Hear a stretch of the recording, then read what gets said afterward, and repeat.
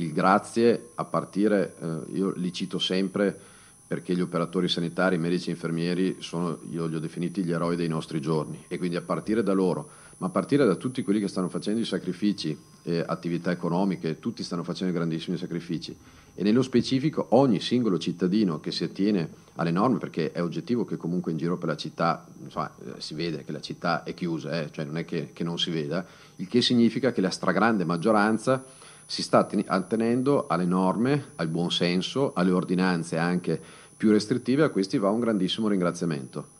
Ha chiuso così il primo cittadino della città la videoconferenza per fare il punto della situazione a Verona. A tutti i veronesi che si impegnano a rispettare le regole, un grazie. In questi ultimi giorni tante le decisioni, le ordinanze varate, come l'ultima che prevede fino al 25 marzo il divieto d'ingresso ai pedoni in tutte le aree verdi e parchi pubblici, sui bastioni delle cinta murarie e sulle alzaie lungo l'Adige. E ancora uso contingentato delle aree cani con possibilità d'entrata serata uno per volta per non più di 5 minuti, divieto di sedersi sulle panchine diventate luogo di aggregazione e utilizzo delle piste ciclopedonali solo in bicicletta ed esclusivamente come mezzo di trasporto per gli spostamenti di lavoro o per necessità.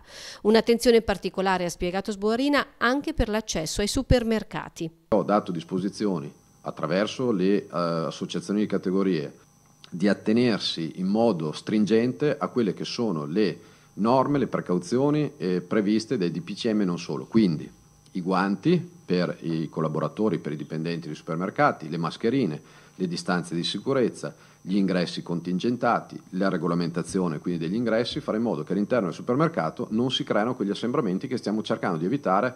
Ed intanto continuano le verifiche effettuate dalla polizia locale, la sanificazione di tutte le strade comunali. Ancora a tutti l'appello a non muoversi. Ricordo, ha detto il sindaco, che gli spostamenti fuori casa sono consentiti solo per andare a lavoro, al supermercato o in farmacia. I cittadini sono chiamati ad un ulteriore senso di responsabilità.